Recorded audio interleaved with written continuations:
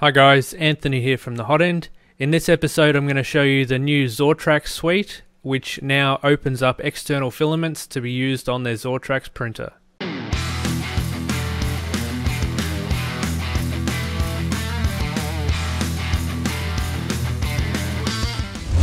So only a couple of weeks ago, Zortrax released a firmware update for the M200 and M300 series printers, as well as a new software suite which is version 1.10. The big advantage of these new updates are they have now officially opened up the printer to be able to use external filaments. Um, as you would have seen by Joel's review and my upcoming review, the Zortrax printer is a fantastic printer, as you would expect for the price of uh, two and a half thousand US, somewhere thereabouts. But its main drawback was that you had to use Zortrax filaments. There was no override for temperature. Um, you couldn't adjust print settings too much. It was pretty pretty restricted into what it would let you do. So they've listened to the community and they have now opened up officially in the software the ability to do temperature overrides and uh, use whatever kind of filament you like. So I'll show you some of those features now. This is the primary Zortrax suite software that you'll see. You'll see here that I've just loaded in a pencil holder. Nothing fancy here. The suite itself is very simple to use all your tools are over here so you can rotate move resize. Uh, I think that one's center to bed or auto arrange. Or if you've got multiple um, parts or models on there you can split them into separate movable pieces. Now the big feature that's happened with version 1.10 is you now have advanced settings here which allow you to choose the material group Ordinarily you would only have Zortrax materials, but now they've opened up external. Over in the material type, you can choose what kind of materials you like, ABS, HIPS, PETG, uh, like a T-glass or a polycarbonate ABS based filament. It still doesn't support PLA, but um, that's fine. The prints that you get off this are absolutely mint. Over in the layer thickness, these are the defaults which it reckons are the best for ABS on this printer, and I generally go at uh, 0.19 or 0.14. Previously, uh, these options didn't exist, so you weren't able to change your temperatures, it was just set. So if I go back to Zortrax materials, this is about all you could choose. You choose what kind of material it is, yeah, infill, uh, any kind of support you need, and very very minimal uh, minimal settings to play with. But in saying that, it does just work. So in some situations, that is the ideal for like a school environment that doesn't mind too much how much material costs over getting a consistently good print. I still recommend the Zortrax materials if you can afford it, or if you've got access, easy access to their filaments. But in saying that, the more experienced can now use external materials. So in here we can set the temperature. So obviously 275 is a bit too harsh for ABS, so I usually drop this back to 250. Platform temperature of 80, I usually go up to 90.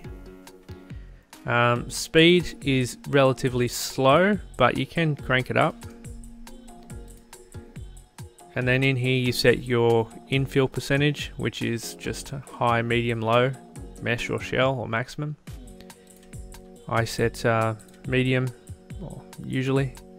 For this model here I don't want supports so zero uh, zero degrees we'll turn that off. And then prepare to print.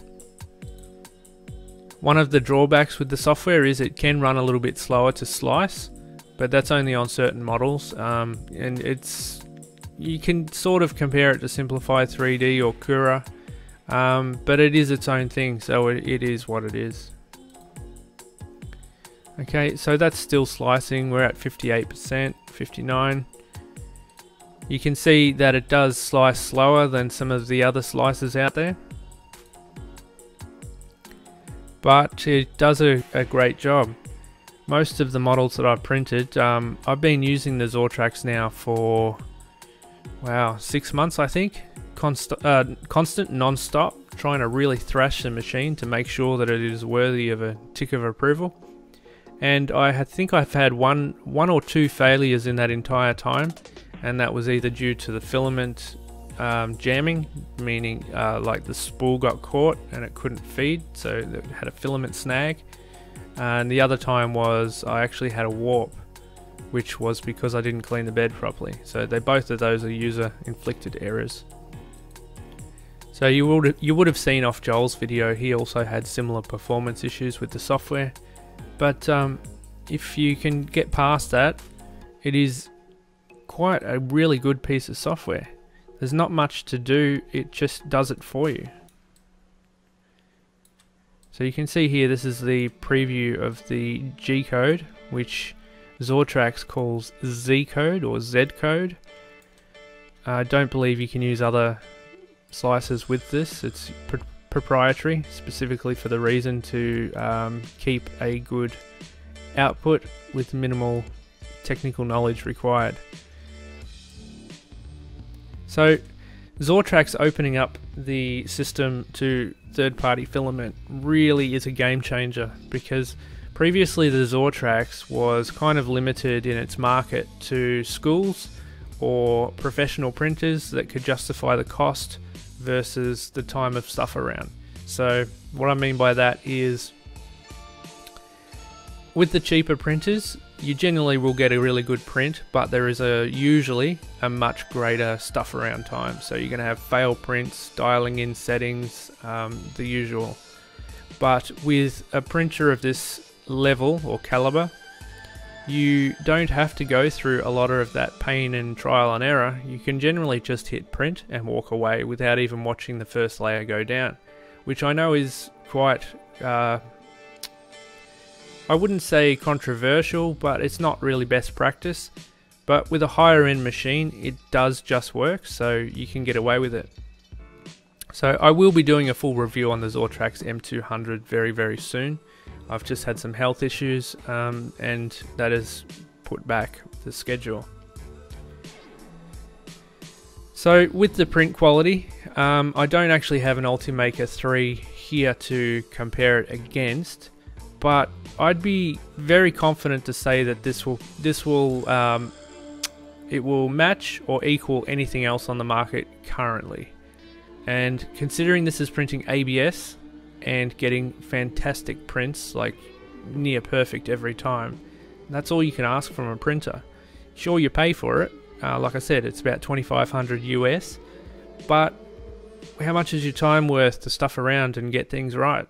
If you want a printer that just prints, then the Zortrax is the go. Now, this is the first print. Excuse me. This here is the first print that I've done on the Zortrax using the official external filament option. Um, I did some more previously, but it was terribly over overheating the filament because it was locked previously, and Zortrax filaments inherently print at a much higher temperature to try and lock you in.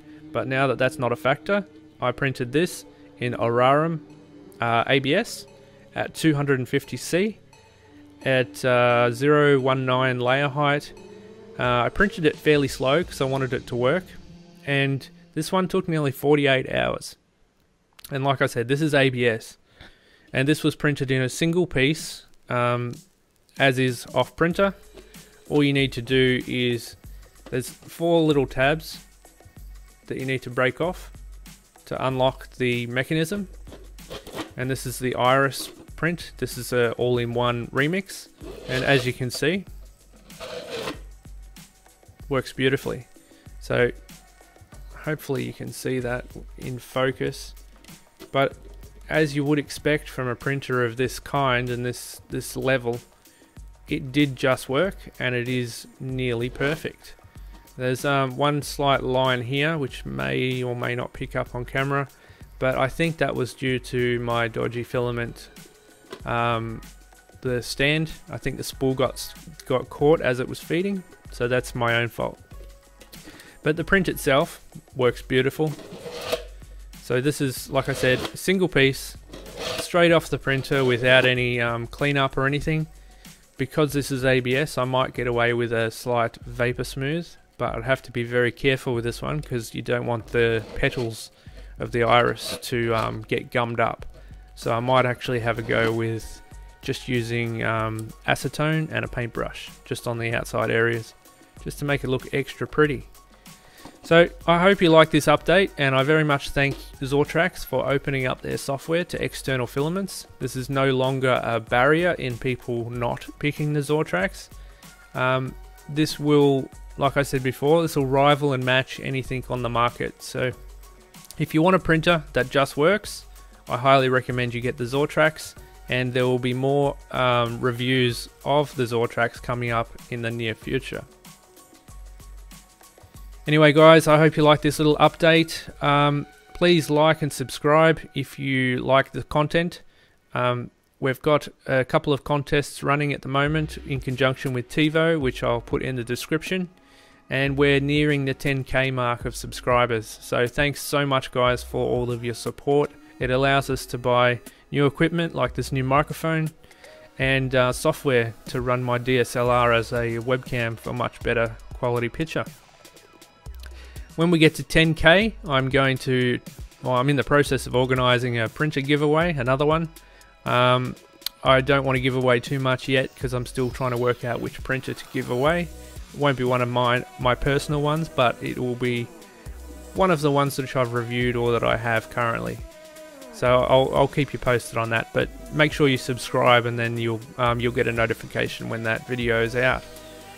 Now, in terms of the channel, um, due to my health at the moment and other life commitments, I am kind of handing the channel over to my dad, and he's going to be doing the primary um, running day to day tasks of, of the channel, and I'll still do video updates and reviews as normal. But he's going to take over the, the other side of the business, which most of you wouldn't see. But anyway guys, thanks again for tuning in. I hope you liked the video. Please subscribe, it helps us out a bunch. And I will see you on the next one. Cheers guys.